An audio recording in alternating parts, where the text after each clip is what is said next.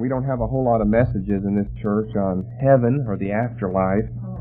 I suppose that's because we're very busy living the Christian life on earth. But tonight's going to be different.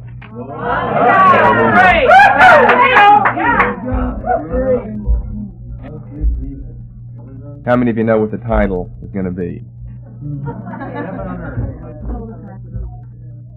It's on the tape list. Some of you have seen it already on the tape list, it looks like. Chapter 31. Chapter 31. Which, by the way, after a year now is the last chapter. This is the last chapter of the book. And then next week we'll look at the little postscript, which is the banquet. Chapter 31. which we've entitled Lifted Veils and Untinted Glass.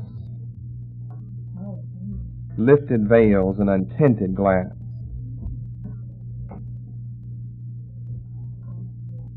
You see, Christian people have a goal that they're headed toward, which gives meaning to life then. Amen. They're not just living randomly like the world is out there, which, which causes life to be rather boring and, well, purposeless.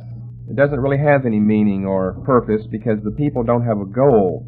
But Christians have a goal.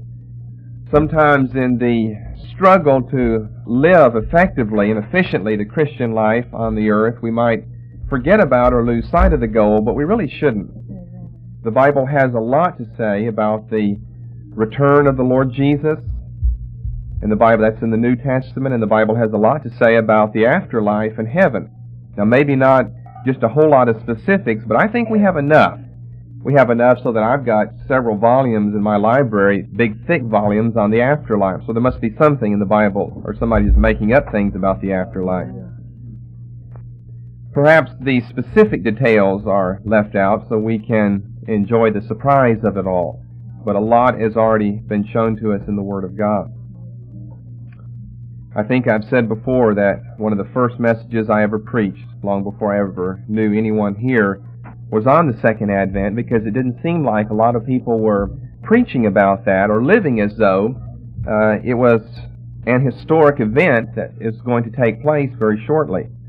And if I can say this in all modesty, it's one thing that has kept me going over the years, and in those early days it was my kind of mainstay, my security blanket, just to think that it's worth it all. Amen. It's worth it all. I had all these friends around me who came into this and then fell away for the most trivial reasons.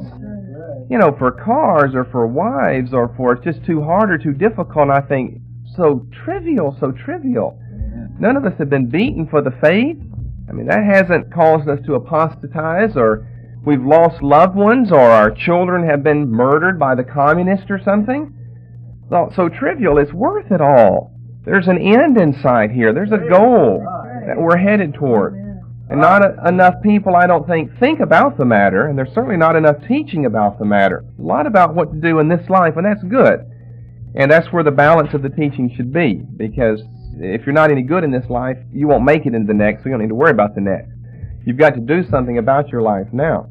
But in the process of living the Christian life now, uh, we have to remind ourselves that there is a fixed end to it all, which is the return of the Lord Jesus and the afterlife. So perhaps you can see what I mean by the title that I've given it Lifted Veils and Untinted Glass. We'll look at some portions of Scripture after we have read along a little here.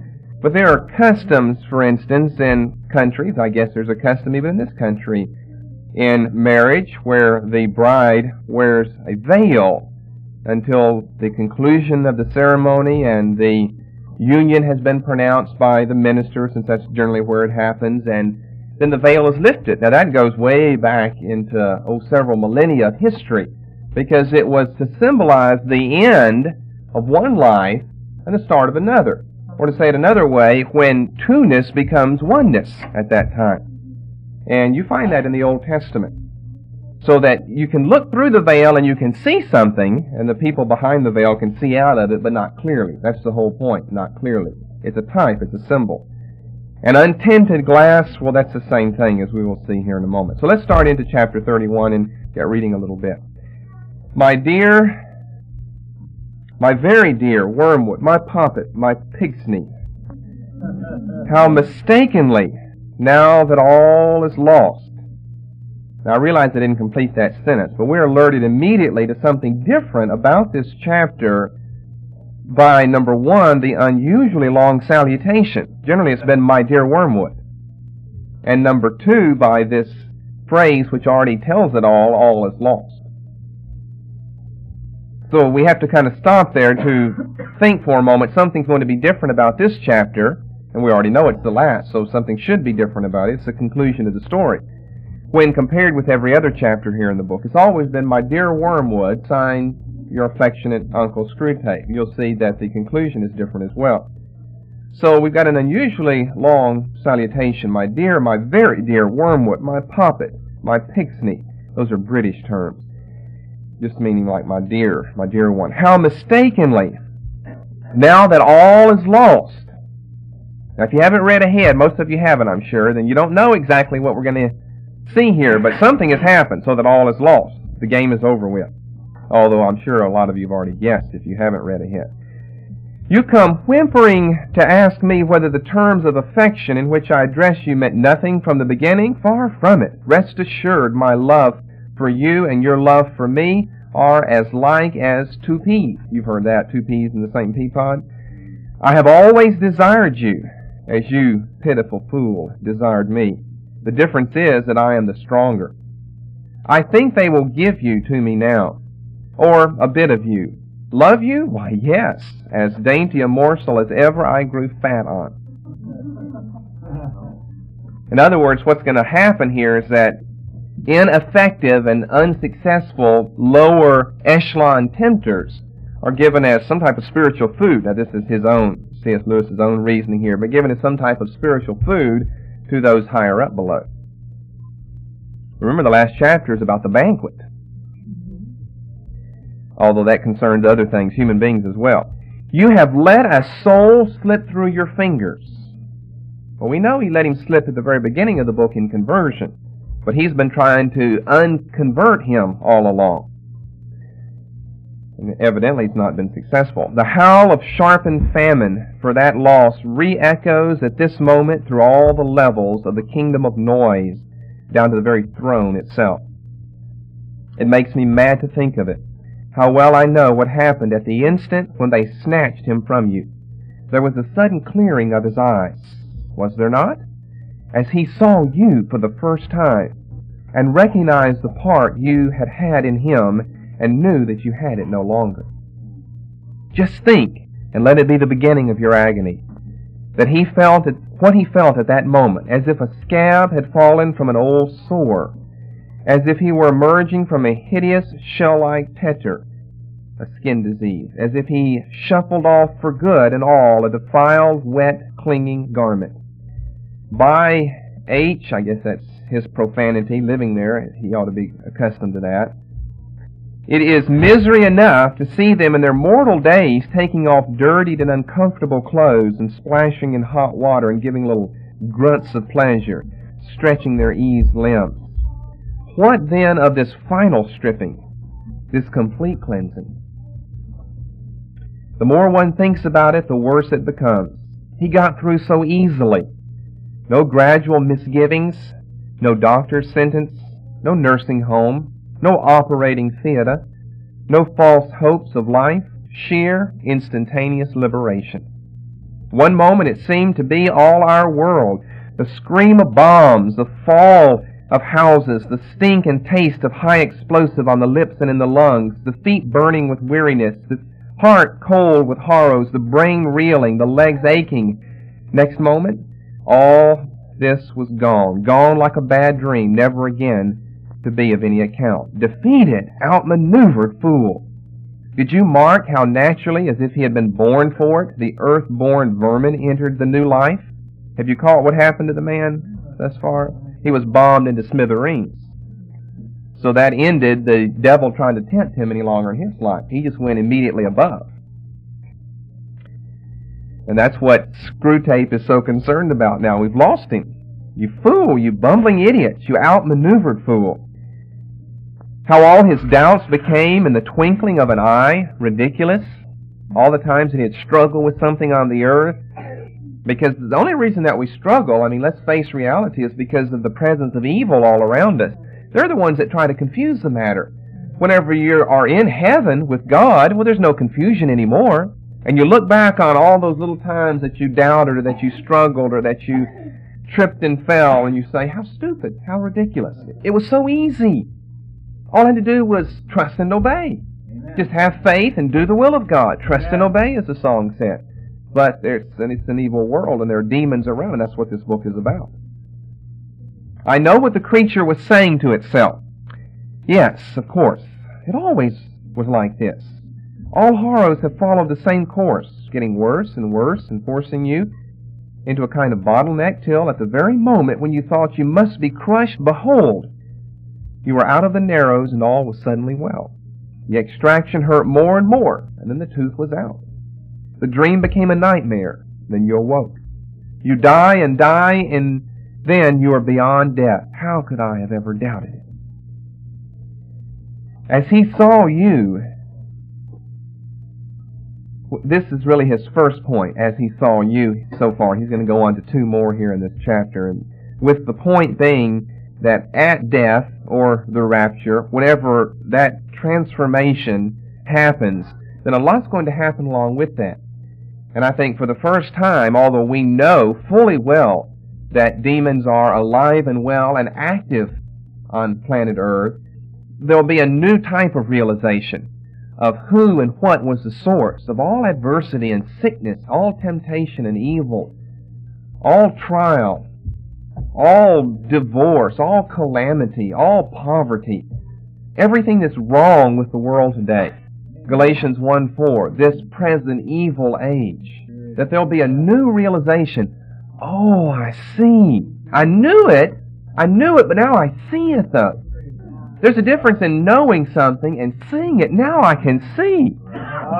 It wasn't my fault. It wasn't my wife's fault. It wasn't my children's fault. It wasn't my parents' fault. It wasn't my employer's fault. It wasn't anybody's fault but the devil's. That's right. He was the one behind everything. Yeah. That's what he's saying. As he saw you. That's the first revelation that he gets. Instantaneously, in a moment, in the twinkling of an eye, in the splitting of an atom, is what the Greek said in 1 Corinthians 15, 51, and 52. At that instant of time, then all of this becomes reality to him. Before it was something that was grasped and possessed by faith, knowledge that was possessed by faith. And now it's realized, it's actualized. So there's the first point. And we don't want to go over that too quickly, but we do want to get to the rest of the chapter. That it will be a blessing to see. And we already know, if we know the Word and we've been trained and taught in the Word, we know the source of sickness and adversity we all we have to do is read Acts 10:38 or Galatians chapter 1 and verse 4 or 1 John chapter 5 verses 18 and 19 or the temptations that Jesus received from the hands of the devil in Luke 4. What did the devil tell him? I'll give you all the kingdoms of the world because they are given to me and to whomsoever I will I give them. Or if you want it in a shortened form, 2 Corinthians 4 4. He's the God of this age. He's the God of this world. Now you think about that. He is the one who causes everything to go wrong. You wouldn't have problems. You wouldn't have marital problems. You wouldn't have headaches or toe aches or any type of aches mm-hmm. without the devil being in control.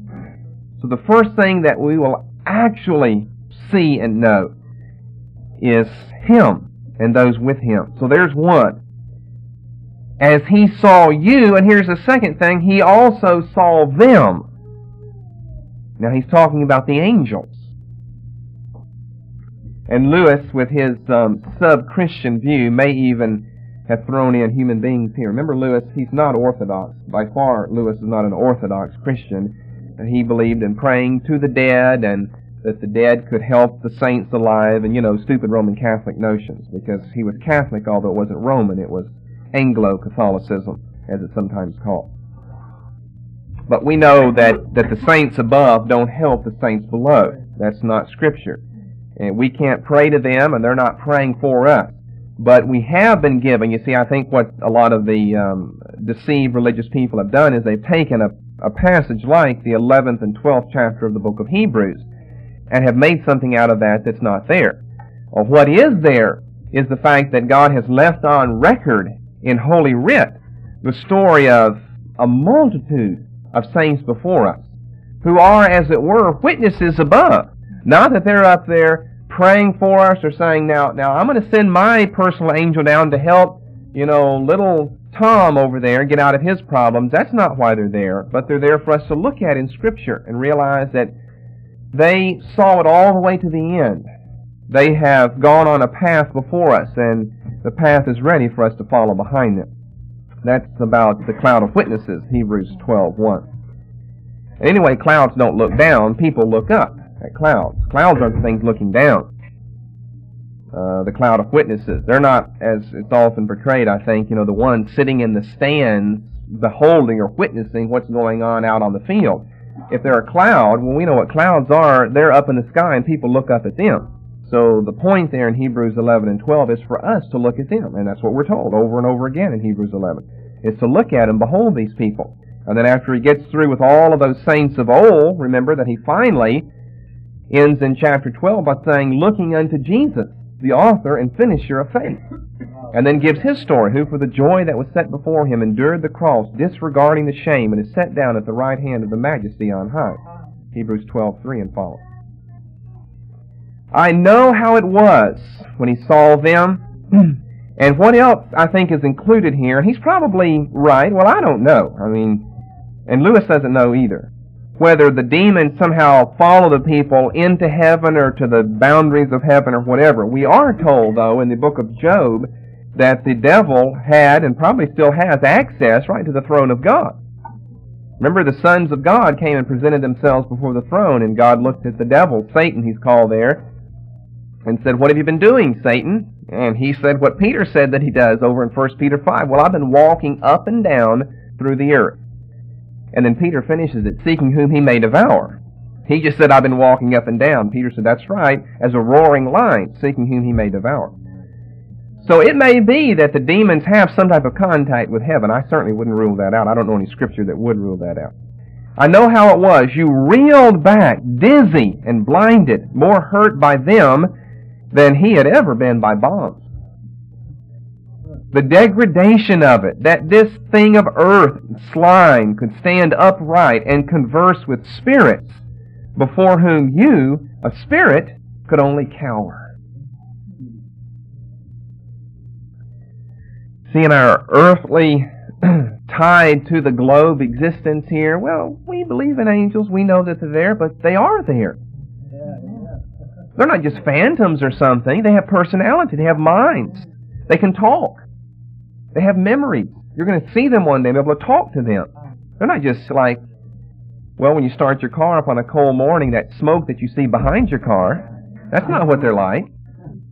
That this thing of earth and slime could stand upright and converse with spirits, before whom you, a spirit, could only cower. I mean, the, the irony of it all, that a human being could converse with pure spirits, and that this spirit, this demon, could only cower.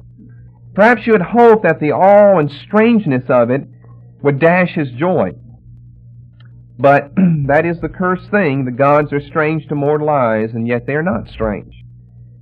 He had no faintest conception till that very hour of how they would look, and even doubted their existence. But when he saw them, he knew that he had always known them, and realized what part each of them had played at many an hour in his life when he had supposed himself alone, so that now he could say to them one by one, not, Who are you? but, So it was you all the time. That's part of the mystery of it all. You'll oh, you were the one that kept me from injury that time, or you were the one that protected my child when they fell down the stairs that day. Not who are you, like, I've never seen you before. It's just an immediate knowing. I doubt there'll be a lot of introductions. Now, this is angel number one trillion here. After you've gone through a trillion of them, you'll know. You just know. Not who are you, but so it was you. All the time. That'll probably be a little low angel, you know, that you meet. Not Michael or Gabriel. They have important functions and features up there, but there's an innumerable company of other types of creatures up there. Many different angels. That's really a blessing to think of that. That they are real. that don't get from this as Lewis kind of does, you know, as Roman Catholics do. Well, I get so warm and such loving thoughts in my heart for the angel. I think I'll pray to one tonight because, or talk to him as my old buddy or something. No, we only reach heaven and the Father through the Son, Jesus Christ. And the angels are our servants and our ministers, and they are God's as well. But we don't talk to each other right now. we just thank Jesus for them because before you know it, you're into spiritualism then.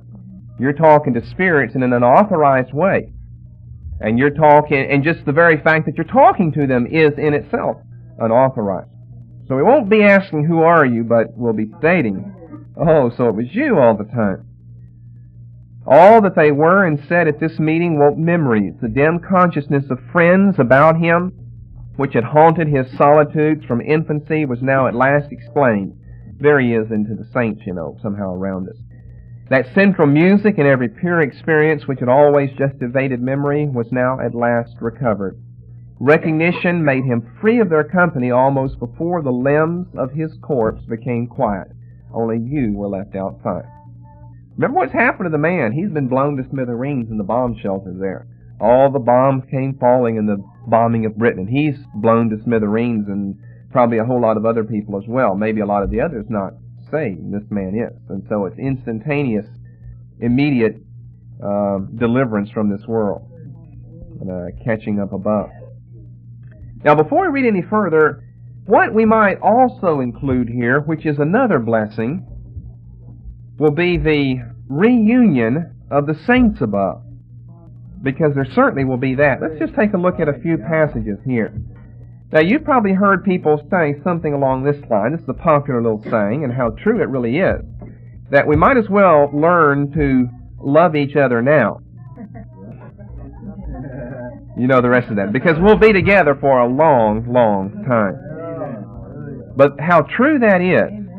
Uh, let me just mention this verse because it really speaks about the Lord and the person, and we'll look at it later. But 1 Corinthians 13:12b reads as follows, Then shall I know, even as also I am known. 1 Corinthians 13:12b. But then if you'll turn with me over to 1 Thessalonians 4, 1 Thessalonians 4, verses 13 through 18, and then we'll look at a passage over in Hebrews 12. 1 Thessalonians 4, 13 through 18. There's no way that I can open your mind or your spirit and make these things real to you. You'll just have to ask the Lord to make them real to you and meditate on them. But I, I think about this oftentimes, not only of the years that we are privileged to spend with each other now, of all the other human beings in the world, the billions on the globe that God has brought us together to spend a long, long time together now, in the here and the now. And as I've often said, and I don't mean by these statements any type of, you know, anti-second advent meaning or something, but the thought of growing old together is a very comforting thought. It should be to a Christian to think that we can stay together and love each other and live together for a long, long time and not be married. And live together for a long time. You know, if you're married, you have to. You're stuck. But otherwise, you, you know, you've got the choice. You can pick up and leave. And you don't find a group of people that come together and stay together for a long time. But of course, you know, I'm willing for it not to be a long time. If the Lord wants to come back next week, the sooner the better. So I never meant by that statement an anti-second advent type of meaning. I meant a very positive meaning of Christian love. They'll know that we are His disciples by the love that we have for one another. And so I sometimes, I'm driving along thinking, now what's it going to be like? This happens to me a lot. And you need to become a mystic or visionary if it doesn't happen to you. What's it going to be like when, um, you know, Sister so and so in the church, who's you know 20 or 25 or whatever now, when yeah, when she's over the hill, when she's 55, and we've known her almost all of her life. Over the hill and started down on the good slide into eternity. Hallelujah. When you know she has gray hair. Now it's pretty. It's, you know, brown or black or blonde or red, and it'll be gray then. She has gray hair. Or what about these children? You know, when you knew them, you changed their diapers or helped bring them into this world. And you know them when they're 40 or 50 years old. So I think of that, and then I think of this. You know, we have these little struggles and cat fights and things back and forth that happen in the church every now and then, and one day it's just going to be boom, and we're going to all be above, and we're going to get to look back and talk about this world and our life and what God has done and the glories of heaven that we're experiencing right then. I drive around thinking of that sometimes. What a blessing that will be. You know, then you don't want to become anti people here, get into problems and fights with people here. You don't even want to go through that and have your record blemished in any way. You Have to look back on that with regret or remorse. As I started off saying, the, in the end, it'll be worth it all. The little time that you can just forget about it and not make a big deal about the matter, it'll take care of itself anyway. And I'm not saying, you know, don't practice Matthew 18 if it has to be practiced, but, you know, in the long run, you hate to have a lot of problems to have to look back on and say, well, yeah, I remember when we fought that day, and, yep, that was a bad six months. We were at each other's throat all the time. That won't be a very good memory. Maybe he'll wipe those away, but it won't be a good memory. It's not a good memory now. 1 Thessalonians 4.13 but I would not have you to be ignorant, brethren, concerning them which are asleep. Now, this is not soul sleep, as the cults teach. Sleep, obviously, it's been in ancient history, and it is in the Word of God a metaphor for death. That ye sorrow not, even as others which have no hope. In other words, he said, I don't want you sorrowing. It's all right to sorrow at the passing of a Christian friend or a loved one especially if it's a saved loved one. It's all right to be sorry. Jesus wept, and the saints wept over the death of members of the body, but not the um, profound type of weeping and sorrow that's carried on by the world, where you actually go through stages of recovery to get over the death of your husband or something. Um, what that shows is the conclusion of this verse that neither you nor him, if he's the one, neither of the two of you have any hope. If there's hope, there's nothing to be sorry about. The only one to be sorry for is yourself anyway. They're not missing out on anything if they're above. You're just missing out on their company. So you should be crying for yourself, not them. But how many times the denominational ministers preach someone who's as pagan as Al Capone right into the kingdom by reading Psalm 23 over the casket or something? Typical denominational ministers can preach anyone into heaven. Well, we know this man might have had his faults, but God understands, you know. God understands. Yes, God does understand. And so does the devil. It's too bad that minister doesn't understand. So he doesn't want us to sorrow without hope because we do have hope. For if we believe that Jesus died, everything is based on him. If we believe that Jesus died and rose again, now do we all believe that? Amen. Oh, amen, we do. Even so, them also which sleep in Jesus will God bring with him. The old and the young he'll bring with him. For this we say unto you by the word of the Lord. Now this is a direct revelation Paul got. this we say unto you by the word of the Lord. This isn't his opinion. Once he said over in 1 Corinthians 7, I don't have any word from the Lord on this, but this is what I have to say we could explain that. That probably doesn't mean what most of you think it does. Let me just say that so you won't think I contradict myself later on. and in the end of that chapter, Paul goes on to give advice to a woman who has lost her husband, and he said, I think that you ought to just go ahead and remain unmarried the rest of your life. He said, This is what I think, and I think that I also have the Spirit of God. He's saying, I think this is what the Lord would have me say to you. That we which are alive and remain unto the coming of the Lord will not go before them which are asleep.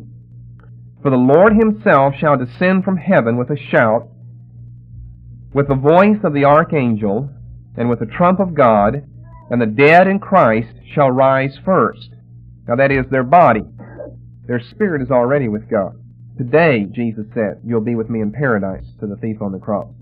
And he didn't say, verily, verily, I say unto thee, today, you'll be with me in paradise sometime, I don't know when because all of his verily, verily statements end there, and then whatever words have to go with the second part. Today has to go with, today you'll be with me in paradise. The JDS people try to use that and say, well, he said, verily, verily, I say unto thee today, you'll be with me, but he didn't say he'd be with him today. He's just saying, I'm saying this to you today. Well, any fool would know that. If you're talking and you're alive, you know that what he said is said now, today.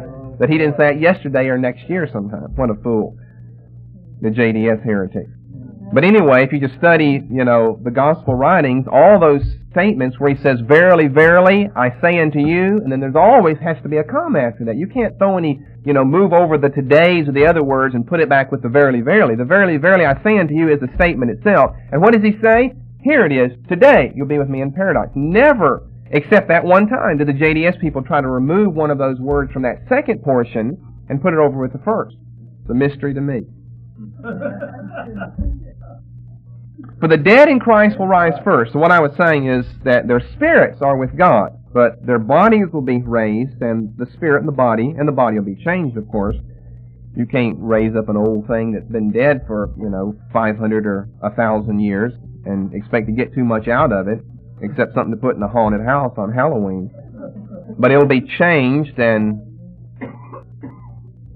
reunited with the Spirit, and then we which are alive and remain shall be called up together with them. Now there's a lot in this passage, and I think what we have intimated with this little phrase here, together with them, is some type of union. Now I know that the meeting of the Lord is the uh, primary union spoken of here.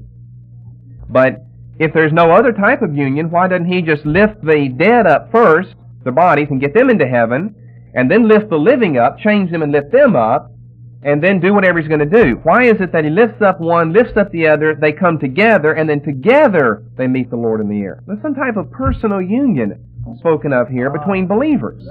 The dead and the living believers. Some type of personal union here. There'll be recognition of dead loved ones, dead Christians, and so forth that are in Christ. Now the others aren't raised. We're told over in Revelation 20 they're not raised until after the millennium, so that they're then raised and then they are reunited with their spirit and they're thrown into the lake of fire, which burneth forever and ever. So this is something that comes before that. That's known as the great white throne judgment, the end of the millennium in Revelation 20.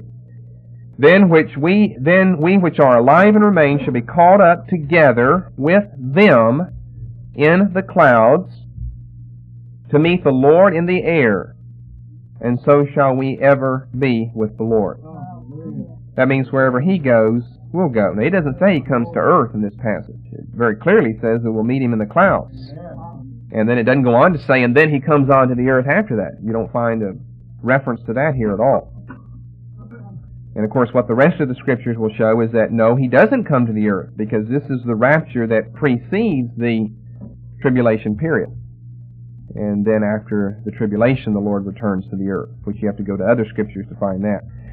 So shall we ever be. So wherever He is, we'll be. When He stays in heaven, we'll stay there. When He comes to the earth at the end of the tribulation period, we'll come with Him. Wherefore, comfort ye one another with these words. That means there's some measure of comfort in this. Well, I think it's comforting to know that we're going to meet the Lord, that we're going to be with the Lord, that if we are alive, our bodies are going to be changed. If we are dead, we're going to be raised and our bodies changed. Whether living or dead, we're going to meet the opposite party. If we're living, we'll meet the dead. If we're dead, we'll meet the living because we'll all be alive on that day. There's a lot of comfort in this, a whole lot of comfort. Oh, Wherefore, amen. comfort one another with these words. Amen. To know that you'll see dead saints. I mean, dead saints. I mean, dead saints, that includes people like the Apostle Paul. He's been dead for 2,000 years. As well as people that have might maybe have died in recent times. That goes back a long, long time for dead saints. I mean, there's going to be a small number of living people compared to the dead that go up. No wonder the dead are raised first. There's a lot to raise. You, you get the big section out of the way first of all. Think of the thousands of people who are considered saints. Old Testament, you've got to go way back to Adam in the garden. His dust is somewhere. I don't know if you could find it, but it's somewhere. God will find it, that's for sure. He knows where it is. It's been all mixed up in the flood. It may be way down there where the geologists are always studying. They should have brought it up with them whenever they came up with those dinosaur bones. But God knows where it is. He'll get all of that together. And the saints of the first century, of the early church, the martyrs through history, and then, you know, people that have died as, you know, as recent as two minutes ago two minutes prior to when all of this takes place here. I'm sure someone will have died then. Then God will have to raise them up first of all, and then the living. And then if you'll jump over into Hebrews chapter 12.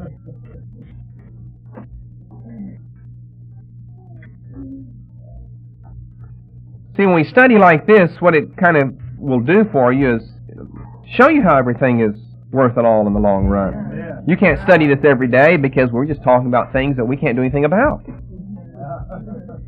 And there's no calling on our life to discipline or anything, just studying about heaven. Well, it's going to happen one day. The rapture will happen. Nothing I can do about it. So that's not what the Bible says to study and teach and exhort and admonish about all the time.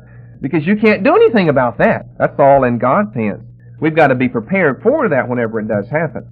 Amen. So we have to study both, but the balance of it has to be in the overcoming Christian life. And then with the extra time, or when you get to the end of books like Screwtape Letters, and you can study a little about the afterlife. Hebrews 12.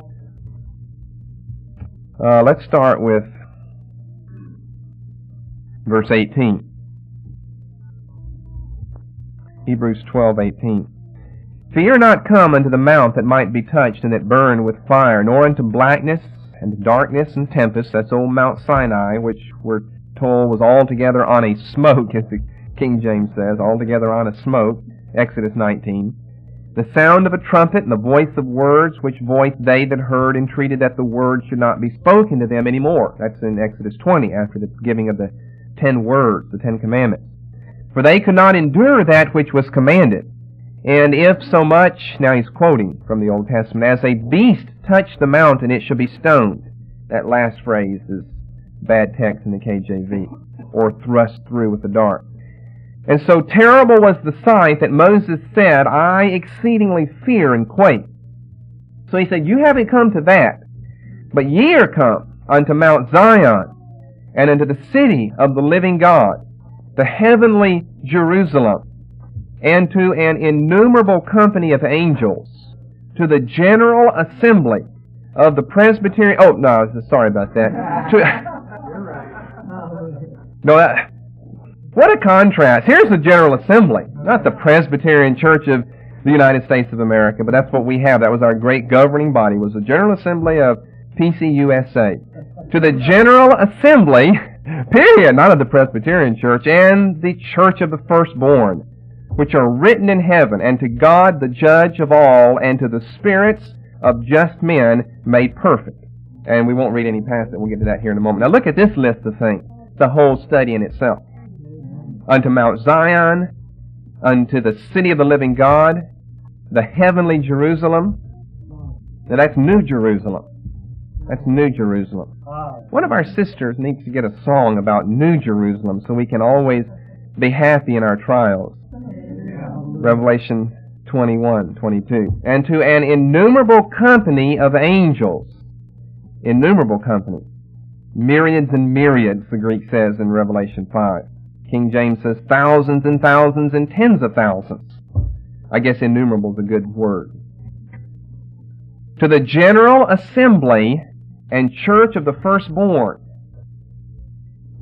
Now he's gone from the angelic company to the human company of redeemed men, to the general assembly and church of the firstborn, which are written in heaven, and to God, the judge of all, and to the spirits of just men made perfect. There's another picture. We don't have a lot, but there's another picture of what we have to look forward to in the afterlife. Meeting these people that we have read about. Uh, of course, you could flip back and look at Hebrews 11. Look at all of those people there. Now, maybe some of them you wouldn't want to meet, you know, because they did some bad things here and there, but most of them you would. Like Abraham, surely you'd want to meet Abraham. Or Abel, murdered by his own brother. Or Enoch. Or Moses. Or David. Or the prophet. See, he goes through that whole list. Verse 39, And these all, having obtained a good report through faith, received not the promise, God having provided some better thing for us, that they without us should not be made perfect. And here's that verse I kept alluding to earlier. Wherefore, seeing we also are compassed about with so great a cloud of witnesses. And what he has reference to there are the witnesses of Hebrews 11. But you see, he's written Hebrews 11. That is the cloud. We look to that. We don't pray to these people, but we look to the example they've set before us, which Hebrews 11 says was, over and over it says, was an example of faith. And then he finally says in verse 2, looking unto Jesus, the author and finisher of faith. So he goes through that list to end with the Lord himself. Well, let's jump back into Screwtape letters again. So much for that part. We'll recognize the demons to be those who tried to foil us on earth. We'll recognize the angels. We'll recognize the saints. Page 148, top of the page, beginning of that paragraph. He saw not only them, and this is the story of redemption, he saw him. This animal, this thing begotten in a bed, could look on him. What is blinding, suffocating fire to you is now cool light to him. Is clarity itself and wears the form of a man. Remember in Daniel 11, you get any chills on your spine when you read this? Remember in Daniel 7:13, Daniel said, "I beheld in the visions of the night, and one who looked as though he were the Son of Man." What is blinding, suffocating fire to you is now cool light to him. It's clarity itself, and wears the form of a man. Well, Lewis is orthodox in his theology here. Jesus didn't then, after he went back to the right hand of the Father, assume some pre-incarnate state. That would be impossible. That would be asking for the impossible. No, he didn't go back and assume what he was in his pre-incarnate state but in his glorified incarnate state, which makes him wear the form of a man. Now, he doesn't mean wear the form as though it were a disguise and he's really not a man, but he is. We're told in Philippians 2 that he was made in the form or in the fashion of a man. And he humbled himself and became obedient unto death, even the death of the cross, and God has exalted him. You would like, if you could, to interpret the patient's prostration in the presence, his self-abhorrence and utter knowledge of his sins. Yes, Wormwood, a clearer knowledge even than yours. On the analogy of your own choking and paralyzing sensations when you encounter the deadly air that breathes from the heart of heaven. But it's all nonsense. Pains he may still have to encounter, but they embrace those pains. They would not barter them for any earthly pleasure. All the delights of sense or heart or intellect with which you could once have tempted him, even the delights of virtue itself, now seem to him in comparison but as the half nauseous attractions of a rattled harlot would seem to a man who hears that his true beloved, whom he has loved all his life, and whom he had believed to be dead, is alive, and even now at his door. He is caught up into that world where pain and pleasure take on transfinite values, and where all our arithmetic is dismayed. Once more, the inexplicable meets us. Next to the curse of useless tempters like yourself, the greatest curse upon us is the failure of our intelligence department. If we could only find out what he is really up to. We know what he's up to redeeming men and defeating the devil. But they don't believe that. They don't believe that God can love because love is self-sacrificial. They think it's some front for something else that he's up to. Alas, alas, that knowledge in itself, so hateful and mawkish a thing, should yet be necessary for power. Sometimes I am almost in despair. All that sustains me is the conviction that our realism, our rejection in the face of all temptations, of all silly nonsense and claptrap, such as nonsense about love, must win in the end. Meanwhile, I have to settle with you. Most truly do I sign myself your increasingly and ravenously affectionate uncle, Screwtape. And we see the next thing we have to behold, Screwtape proposes a toast at the banquet. Well, that will be next week. So after he's dealt with the spiritual beings, the demons and the angels, the reunion of the saints above, he finally comes to meeting Jesus Christ himself. Flip over with me to 2 Corinthians 3, if you will, and let's just take a quick look at a couple of these passages that served as the basis for the title to our study, Lifted Veils, in the first place, and Untinted Glass. What it speaks of is our being rescued from life here in the body and in the flesh, not as though we feel that our soul is somehow imprisoned in the body, the old Greek view, and splitting man up. The body God has redeemed himself. 1 Corinthians 6, 19 and 20. Therefore glorify God with your body. But we know that we don't see things as clearly, even with all of the knowledge and light from the Word of God. We cannot, we do not, we cannot see things as we shall see them. In 2 Corinthians 3, you have perhaps one of the, in my notebook, most beautiful chapters in the New Testament. 2 Corinthians is a favorite book of mine, as I think I've said before. I've got my favorites that maybe some people